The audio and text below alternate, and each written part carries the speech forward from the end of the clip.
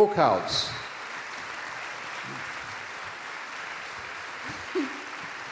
Či je to gin tonic, prosím? Johnny, is this your drink? I don't know. I'm Oh, not is sure. it my drink? Okay. Is it my drink? How would I know? I don't know. I was just wondering. She'll know. It's definitely your drink. Ona to pozná, to je jeho. It's my drink. It's his drink. So most of you left. No, I'm kidding. Většina z vás odešla, ne, dělám si legraci. Victoria, how is, how is, jak, se, jak, se, da- jak se daří Shaneovi? Victoria, how is Shane doing? How long have you got? Kolik máme času? Asi půl hodiny. 30 minutes? 20 minutes. 30? Um, I think he's genuinely very, very, very, very happy that you guys have, are showing this film because he loves this country and particularly he loves Prague. he loves Czech beer. Um, if he was here, he'd probably be going to the beer bath, which we're going to go to in his honor. We're going to go for, to the beer bath. Yes, we are. And um, he's very grateful, especially to Julian, because even though he's a slimy limey, I don't, can you translate I'm that? a Brit bastard. It's Brit bastard. Um, he pulled off a really beautiful film. Beautiful. About a beautiful man. By a beautiful man. Julian is a beautiful man who made a beautiful film. No, by Oh. about a beautiful man. And Stephen is also very beautiful, and he doesn't get enough credit. Will Because he's need- like, I didn't Victoria, I'm sorry. On je opravdu rád, má opravdu obrovitánskou radost, že se ten film tady promítá, protože má tuhle zemi rád, má rád Prahu, má rád české pivo. My jsme mu říkali, že půjdeme do pivní lázní, na což se opravdu chystáme. A toho taky potěšilo a je opravdu vděčný Julianovi. Uh, on je to takový bručoun, ale natočil krásný film. A Julian říká, ano, je to krásný film o krásném člověku. well done. Johnny, Really good. Round of applause. Yes. jak jste se potkali se Shanem? Johnny, how did you get to meet Shane?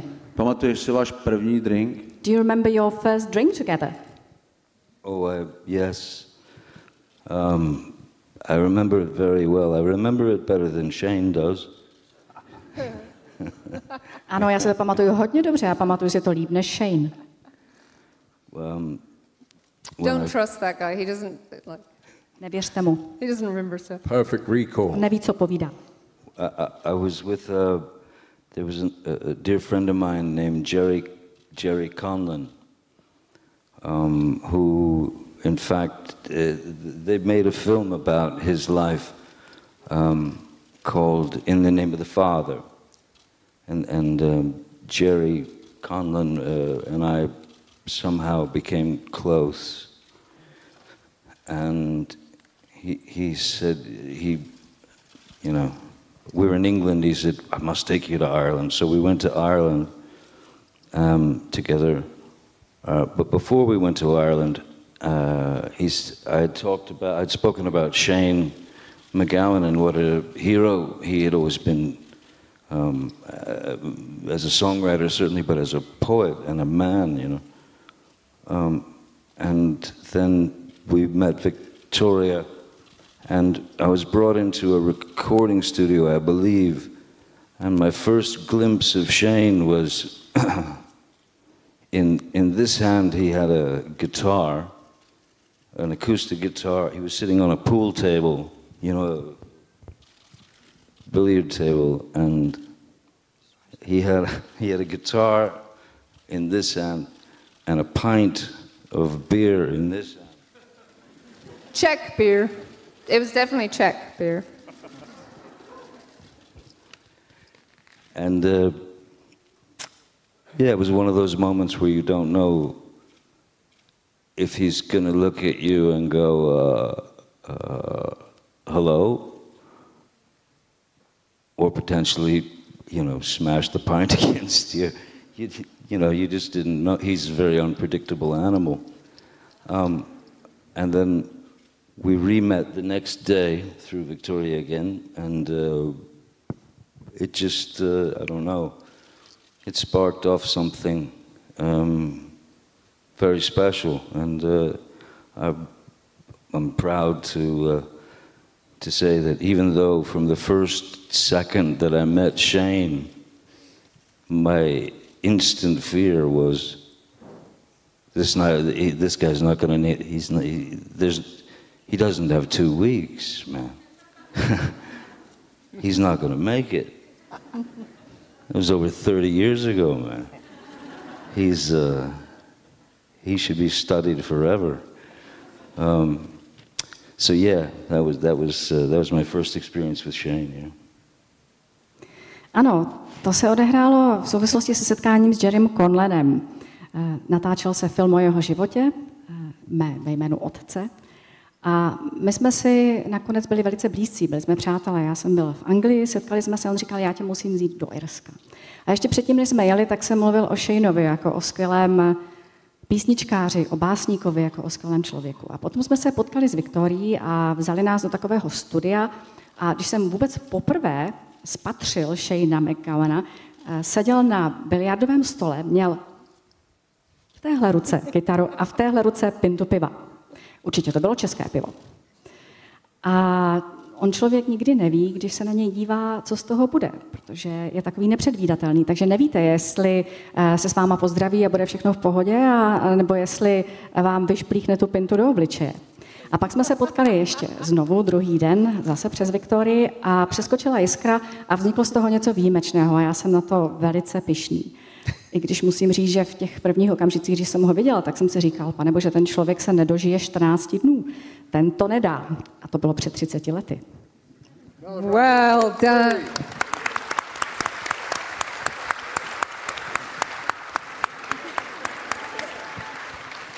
Thank God people My- speak my- different my- languages. My, She- my, she could have answer, said anything. my answers from now on will just be yes and no. Já už od teďka budu odpovídat jenom ano nebo ne. I, I don't wish to exhaust you. I'm sorry. Nechci vás úplně vyčerpat. I think I'll manage, don't worry. Julian, It's a beautiful Julian. language, the Czech language, by the way, listening to you. Mimochodem, čeština je krásný jazyk, když vás tak poslouchám.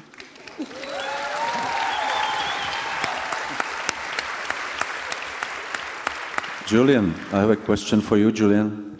Uh, Shane je člověk opředený mnoha legendami. Uh, pamatujete si, jaká legenda o něm se vám nejvíce vrala do paměti, uh, než jste ji poznal? Já mám otázku pro Juliana. Shane is a man surrounded by legends. Which was the very first legend that stayed with you before you actually met him? Well, the first legend I knew about Shane was the peroxide bottle. You know, every young punk had to get the bottle out and like douse themselves in bleach, right? And Joe Strummer did too much. He looked like Marlon Brando in Julius Caesar. Shane got it kind of about right, you know. And um, if you remember in the film, there is a shot. There's an interview with Shane, um, still with the you know the baptismal bleached hair of the punk, very early Shane. When I knew, and I did the first interview with him. When I knew him, you wouldn't know he was Irish, amazingly, unless you knew his name. I didn't know his name originally. I just thought he was another heavy duty, full on, beautiful London punk, which he is still, I think, in, although he denies a bit of that. Should I shut up now? OK. Já myslím, že ta první věc byla láhev peroxidu. Eh, Protože každý eh, punk, který si sám sebe tehdy vážil, se prostě musel polít nějak, nějak, nějakým takovým peroxidem, něčím podobným a obarvit se na blond. A on to trošku přehnal, vypadal něco jako kříženec eh, Marlena Branda a Julia Cezara. To jste možná viděli i v tom filmu, je tam jeden takový rozhovor, kde ještě je vidět, že má eh, ty, svoji, ty své původní blond obarvené vlásky. A já, když jsem s ním dělal první rozhovor, tak já jsem vlastně nevěděl, že je to Ir. Já jsem v podstatě ani neznal jeho jméno, já jsem jenom věděl, že je to prostě opravdový eh, plnokrevný punk, londýnský punk. Can I ask a question? Můžu se zeptat na něco? Um, did you like the film? Líbil se vám film?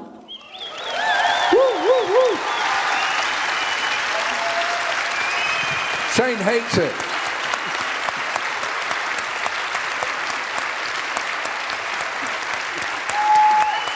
That's the best answer. That's the best answer yet. Thank you so much.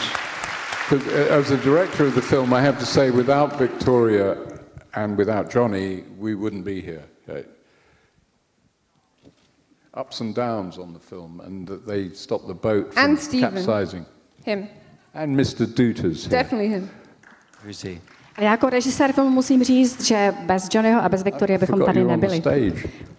Keep the microphone, Stephen. I'm not meant to be here. Sorry about that. Bylo to trošku jako na houpačce. Can we get him to say something? Yeah, no, I was about to Please. ask him a question. A samozřejmě se o to taky zasloužil Steven. A teď se ho na něco zeptáme. Phoning it in. Stephen, come on. Stephen. First song by the? Pokes. First song by the Pokes. You remember?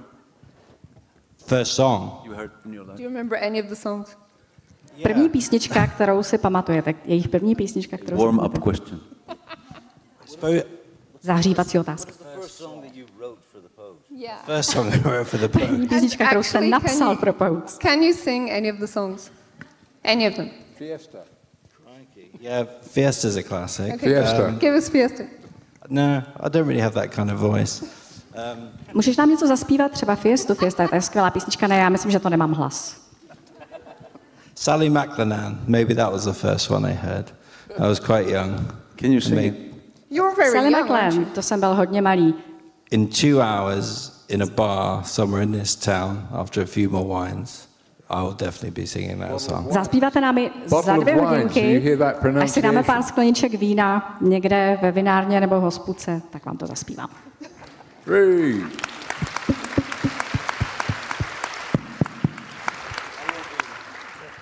Johnny, speaking of singing, Když mluvíme o tom zpěvu, you- are Johnny, you- Are you trying to inflict that image into my head? Snažíme se mi něco vnutit, nějakou myšlenku? I'm sure he could do it, but I just don't see him doing it. So, therefore, I, uh, I feel a strange urge to giggle at the, uh, at the image of it. Um, but what, Ste what, Ste what Stephen did was uh, truly, as a producer, um, no less than miraculous. Because uh, when you're when you're I think Julian would agree a documentary or a film of some beast some some thing some creature that is a unique creature it's it's not going to be an easy ride it's just not but it uh, at the same time it, it shouldn't be an easy ride um, I, I- I would rather Shane have, you know, hit, hit the moments of non cooperation, which was his instinct. That was his way of directing the film by proxy. Exactly. yeah. Paint us into a fucking corner and laugh while we were trying to get out of the corner, you know. But that's, it made that's it that was the beauty Shane's of it. film in a way, you know. That was the beauty of it. Shane essentially dictated From what, afar. what bits he would be involved in and the ones he wouldn't. And so, I mean, that, that puts a producer and a director in a corner where you have to actually really start to think that um, I'm trying to capture this animal, this, this, this, this beautiful white tiger Snow leopard. snow leopard, the snow leopard. You're trying to capture the snow leopard, and the snow leopard is, uh, y- y- he, he, he just doesn't feel like cooperating all the time. Um, so it puts, it forces you into a corner.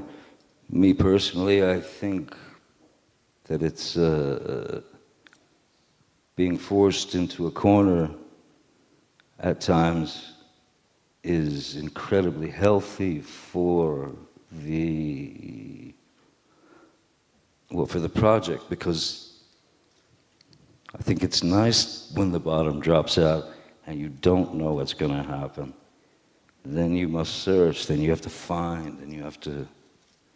So I think Shane did uh, the film a great favor in a weird way. Great director, Shane McGowan.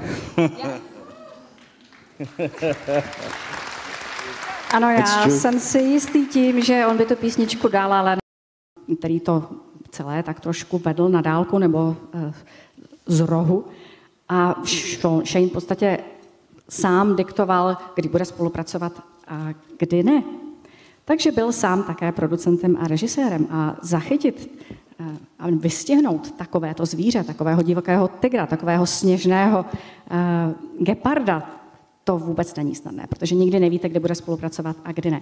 A když mě někdo takto občas zatlačí do kouta, ono je to docela zdravé, ono je to docela dobré a prospěšné pro celý ten projekt, protože nevíte, co bude dál a musíte dál hledat.